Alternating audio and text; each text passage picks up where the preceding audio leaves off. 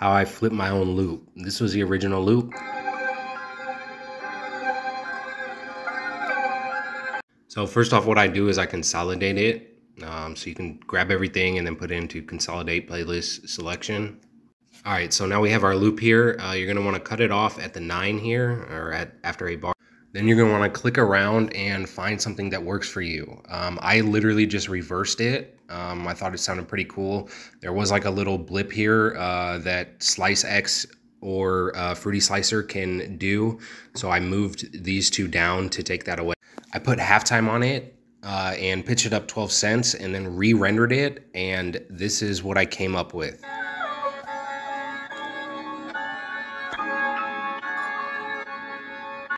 Like, follow, and subscribe if you enjoy this content. It does help a lot. And this is what it sounds like with some drums added to it.